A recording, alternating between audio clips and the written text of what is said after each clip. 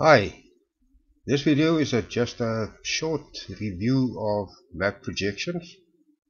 A quick overview, just the things you need to remember. And then I'm also talking about the South African system versus the world and why our X's and Y's and northings and eastings are so confusing. So let's start off with this. Firstly, yeah, the South African projection as opposed to the international Gauss conformal, amongst other things. But the first things you need to remember about map projections is um, how they're made up. We need to remember that we've got um, a cylinder or a cone or a plane. Uh, so that's the normal aspect. In other words, the axis of the cylinder or the axis of the cone coincides with the axis of rotation of the earth. Same with the plane, it sits at the top of the pole there. So what you need to remember is the three surfaces, cylindrical, conical, azimuthal, and then you need, need to remember the aspect. There's a normal aspect, there's a transverse aspect, in other words, when the axis of the cylinder or the cone is perpendicular to the axis of rotation, uh, and the, or the plane sits on the equator, and then any other orientation or any other aspect uh, we call oblique. So,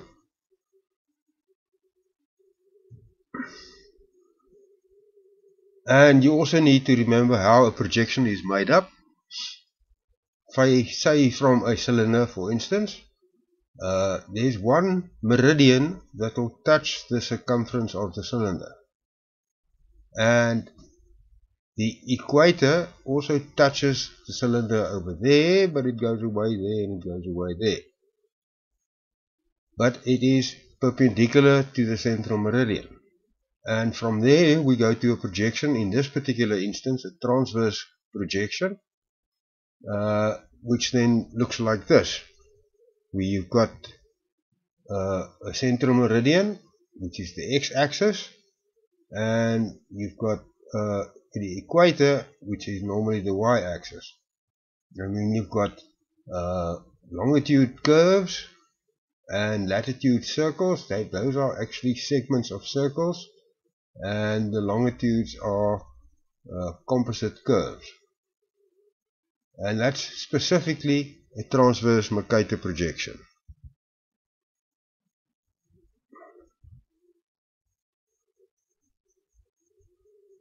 The next thing you need to remember is what characteristics are um, preserved in a map projection. Conformal when you preserve shapes and angles. Equivalent when you preserve areas. And equidistant when you preserve distances. Normally only in one direction or in two. For instance along the parallel, along the meridians. And then uh, the same in, on the equator. But normally not between the meridians on the vertical, on the parallel. So mostly in one direction only.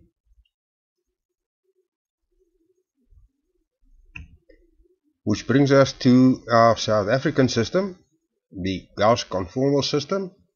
It's uh, named after Friedrich Gauss who invented the system, but in actual fact it's a transverse cylindrical conformal projection. In other words, it looks like that, the cylinder transversely across the globe and it preserves angles and shapes. The central meridian, the one touching the globe over there, normally are all the uneven meridians east of Greenwich. So anything, that's why we get 23, 25, 27. And the y oh, when that's those are the x axes. In other words, your x coordinates run along those your y coordinate is on the equator and because the equator is also perpendicular to the central meridian. And on that the grid is superimposed. Your graticule is still latitude circles and longitude curves. And you can see the way they look over there. And yeah the superimposed grid on that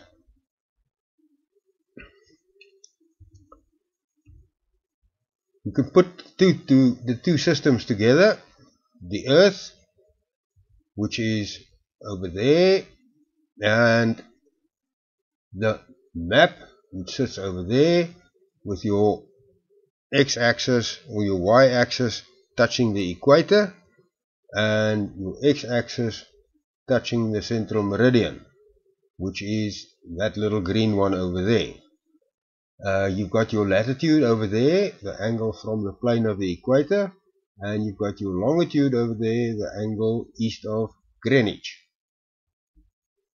And that's how the two how the three look together. You also got your x x y and z earth centered earth fixed system over there. International Gauss conformal projection looks slightly different whereas we've got our x-axis going south they've got their x-axis going north. And they've got their y-axis going east where ours go west. And when you look at any sort of self-respecting GIS, you'll notice uh, that the x-axis the x-axis over there over there goes east-west and the y-axis over there goes north-south.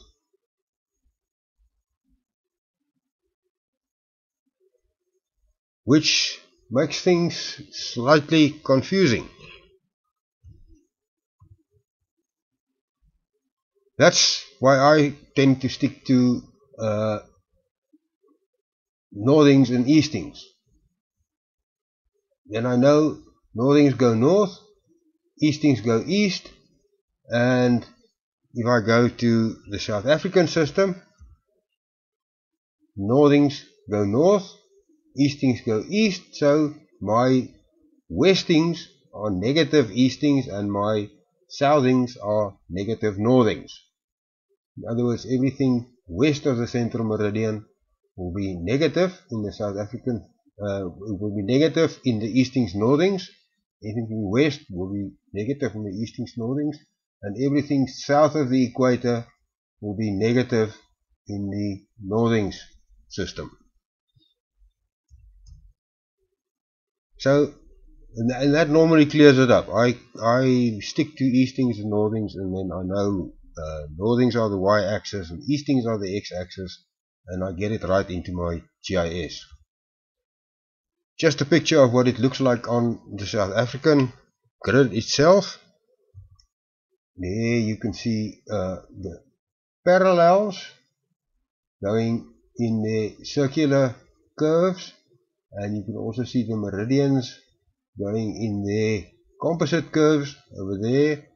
And you can see at the central meridian 24 degrees east they actually touch.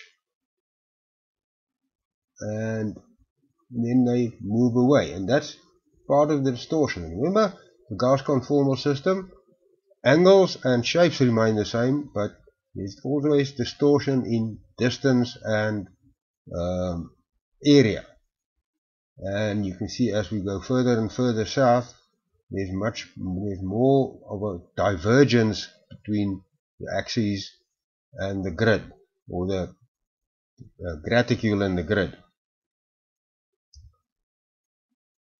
With the international system, northings, eastings looks exactly the same except it's measured in different directions. So don't let that confuse you. As I say, normally I stick to northings and eastings and that solves quite a number of problems. Alright, that's it for this video. video.